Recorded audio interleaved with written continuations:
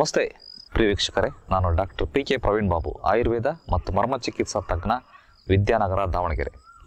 ಇವತ್ತಿನ ವಿಷಯ ಏನಪ್ಪ ಅಂತಂದರೆ, ಇಲ್ಲಿ ನೋಡಿ ಕಾಣ್ತಾ ಇದೆ, ಬಿಳಿ ಹೂವು, ಇದಕ್ಕೆ ದತ್ತೂರಿ ಗಿಡ ಅಂತ ಹೇಳ್ತಾರೆ. ಸಂಸ್ಕೃತದಲ್ಲೂ ಕೂಡ ದತ್ತೂರ ಅಂತ ಹೇಳ್ತಾರೆ, ಕನ್ನಡದಲ್ಲೂ ದತ್ತೂರಿ ಗಿಡ ಅಂತ ಹೇಳ್ತಾರೆ. ಇದು ದಿ ಬೆಸ್ಟ್ ಪೇನ್ ಕಿಲ್ಲರ್ ವೀಕ್ಷಕರೇ. ಇದರ ಬೀಜ ಇದೆಯಲ್ಲ, ಇದು ನೋಡ್ತಾ ಇದ್ದೀರಲ್ಲ, ಕಾಯಿ ನೋಡ್ತಾ ಇದ್ದೀರಿ, ಕಾಣ್ತಾ ಇದೆಯಾ? ಇದು ಮುಳ್ಳು ಮುಳ್ಳು ಇರ್ತದೆ ಕಾಯಿ. ಈ ಕಾಯಿ ಪಾಯ್ಸನಸ್ ವೀಕ್ಷಕರೇ. ಭಾಳ ಎಚ್ಚರಿಕೆಯಿಂದ ಇರಬೇಕಾಗ್ತದೆ. ಇದನ್ನು ಉಪಯೋಗ ಮಾಡುವಾಗ. ಇದು ಡೆಡ್ಲಿ ಪಾಯ್ಸನ್ ದಯಮಾಡಿ ಇದನ್ನು ಯಾರೂ ಉಪಯೋಗ ಮಾಡಬೇಡಿ. ಇದರ ಮಾಹಿತಿ ನಿಮಗಿರಲಿ ಅಂತ ತಿಳಿಸ್ತೇನೆ ಅಷ್ಟೇ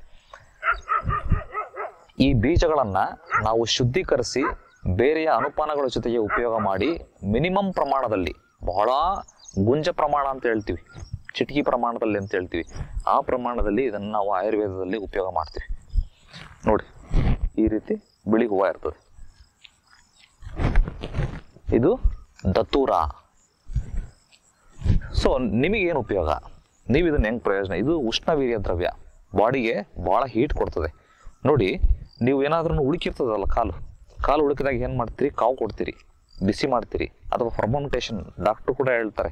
ಹಾಟ್ ವಾಟರ್ ಬ್ಯಾಗಿಂದ ಸ್ವಲ್ಪ ಬಿಸಿ ಮಾಡ್ಕೊಳ್ಳಿ ಪೇನ್ ಕಡಿಮೆ ಆಗ್ತದೆ ಅಂತ ಹೇಳ್ತಾರೆ.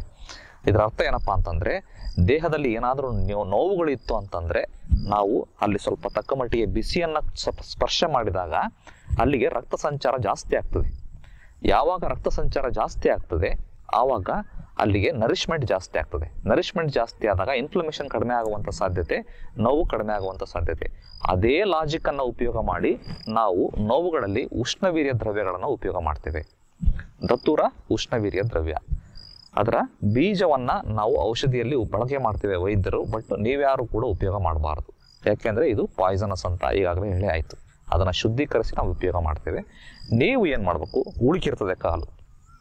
ಅಥವಾ ಏನೋ ನೋವಾಗಿರ್ತದೆ? ಮೊಣಕಾಲು ನೋವು ಇರ್ತದೆ ಅಥವಾ ಹಿಂಬಳಿ ನೋವು ಇರ್ತದೆ ಅಂಥ ಜಾಗಕ್ಕೆ ಜಸ್ಟ್ ಇದರ ಎಲೆಯನ್ನಿದೆಯಲ್ಲ ಈ ಎಲೆಯನ್ನು ಸ್ವಲ್ಪ ಹಂಚಿನಲ್ಲಿ ಬೇಯಿಸಿ, ಅದನ್ನು ಬಿಸಿ ಮಾಡಿ ಸ್ವಲ್ಪ ಕೊಬ್ಬರಿ ಎಣ್ಣೆಯನ್ನು ಸವರಿ ಆ ನೋವಿರುವಂತಹ ಜಾಗಕ್ಕೆ ಪಟ್ಟಾಕೋದು ಅಂತ ಹೇಳ್ತಾರೆ ಹಳೆ ಕಾಲದಲ್ಲಿ. ಎಲೆಯನ್ನು ಹಿಟ್ಟು, ಕಾಟನ್ ಬಟ್ಟೆ, ಸುತ್ತಿ.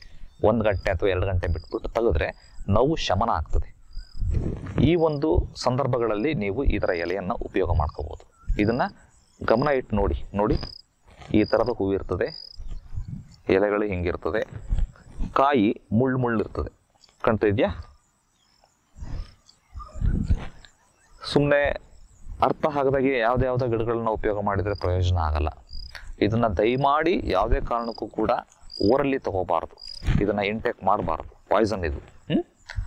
ಸೊ ತಿಳ್ಕೊಂಡ್ರಲ್ಲ? ಈ ಗಿಡವನ್ನು ನಾವು ರಕ್ಷಿಸಬೇಕಾಗಿದೆ. ಇದು ಭಾಳ ಕಡಿಮೆ, ವಿರಳ ಆಗಿಬಿಟ್ಟಿದೆ ಈಗ ಇತ್ತಿನ ಇತ್ತೀಚಿನ ಕಾಲದಲ್ಲಿ. ಇದನ್ನು ರಕ್ಷಿಸಬೇಕು. ಅದಕ್ಕೋಸ್ಕರ ನಿಮಗೆ ಇದ್ರ ಬಗ್ಗೆ ನಾನು ಸ್ವಲ್ಪ ಸಂಕ್ಷಿಪ್ತವಾದಂಥ ಮಾಹಿತಿಯನ್ನು ಕೊಟ್ಟಿದ್ದೇನೆ.